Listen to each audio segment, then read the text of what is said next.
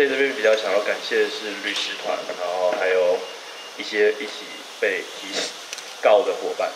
对，因为在诉讼的过程真的是非常漫长，然后也很谢谢大家的陪伴，还有也谢谢大家的支持。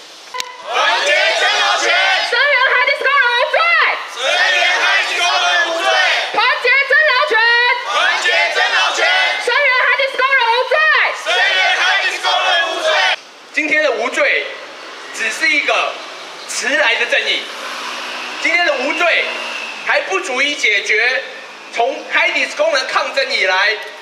我们那么多的劳工只因为要上街发出声音，只因为他可能不是台湾国籍，就可以恶意的被逮捕，恶意的被遣返，恶意的不能让他发出任何声音，恶意的让何寿专到今天还为所欲为，对于韩国的恶意官场不用付出任何的代价。台湾的检方到底是站在哪边？我们感到非常愤怒、何寿团付出什么代价？我们这些恶行起诉的减掉、恶行起诉的内政部，他们要付出什么代价？对于这件事情，我们会继续持续的来追究他们。该要回头去看清楚，说这一场集会游行到底原因是什么？原因是因为我们的台湾的企业永丰余集团、元泰科技，靠别人的国家并购了一个工厂，关闭人家的工厂，工人来台湾找老板，做希望做劳资协商、劳资面对面的谈判，结果弄成这样，三年后我们还得在这里去诉求集会游行这件事情是作为工人作为最后一道传声筒的一个地方哦。街头本来就已经是社会大众最后一个机会，我们没有媒体，也没有可以垄断整个舆论的的资本。那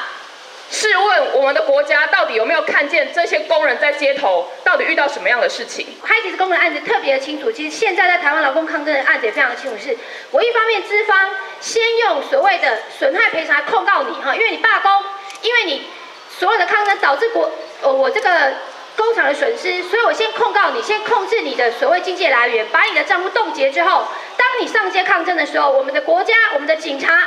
在街头上，不管有没有任何的证据，不管这个抗争是不是和平，我先用妨碍公务集会游行法哈，或是危害所谓公共安全、公共危险罪，把你逮捕起来，把你送到法院。所以所有抗争的人面对两个事，我的经济来源被截断，我在对外在国家的时候，我会面对一个非常强大的诉讼压力。这些东西，他不管这个案子会不会成，我就是要让你在个极大的抗的压力之下，放弃这样的抗争。如果我们面对是这样一个政府，他可以毫无理由的用所谓废弃物处理法，把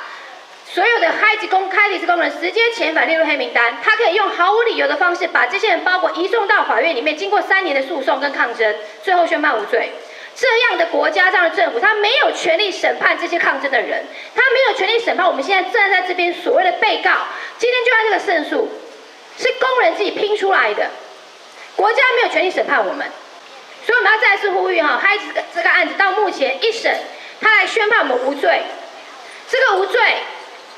他到底会不会再次的哈，就是这个所谓检察官会上诉，或者是刚刚思雨提到的，海底是工人黑名单。我们希望对这个国家，如果还有抱有一点点期待的哈，民进党政府来告诉我们说，他要来给我们一个更好的台湾，我们就看在马英九时代的案子到现在，你蔡英文要怎么解决？我们第一个呼吁，刚刚那个主持人也讲了，我们希望检方不要再浪费司法资源，再做一个上诉的这个哈的那个举动。第二个，我们当然也希望目前被移民署管制的这个韩国韩国工人。其实他们是很有心要再来台湾，当然他们在韩国的这个诉讼已经告一段落，所以他们也很愿意再来韩台湾这边跟我们劳工朋友大家一起再来讨论往后怎么样做一个国际的协作跟合作。我们也希望我们的移民署能够解除对他们的入境限制。Thank you.